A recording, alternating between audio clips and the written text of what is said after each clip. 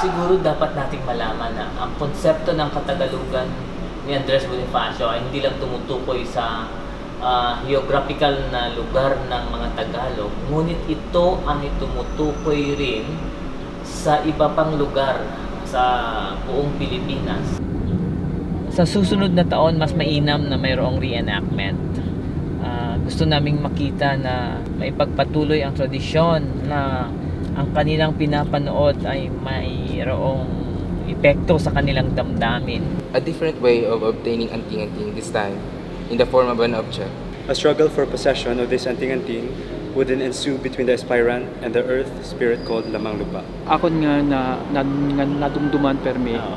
ay may una man nga mga aklanon nga nag ano, naging party at katipunan, Oo. ah, naging party at ah, revolution.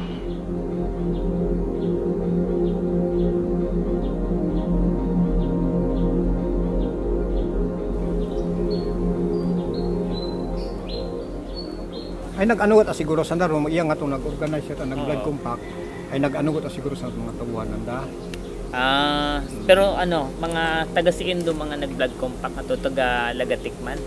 Tagariya kita tanan. Tagariya tanan. Tagariya gida. Ang 19 martires ng Aklan ay di mga pangkaraniwang tao. Sila ay may anting-anting. Kasi at the end of the day, it's also, you have to have faith in the anting-anting. di ba?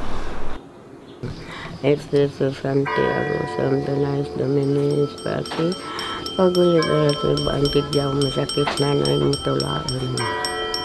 Espiritu Santiago, Santo Nais Dominis Pati, ikaw sa kabot ko na ikaw ganumano sa mo. pagpalupok, no? So ang mga babaylan, amo nga area, nag-scatter sila. So pag scatter nila, there are may mga kahoy diri na palalagyo sila sa mga kahoy. Ang pari nga napatay lang gid siya si Father Isidro Badrela. may away gid nga tabo. Yes, sir.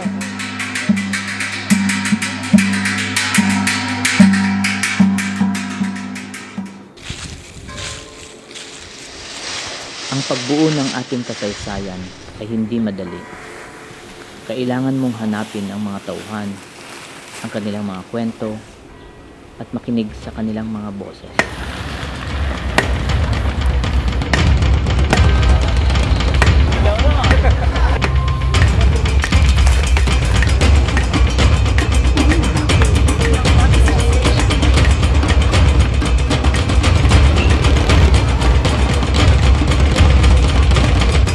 Ubat buwas rin mong balakakon.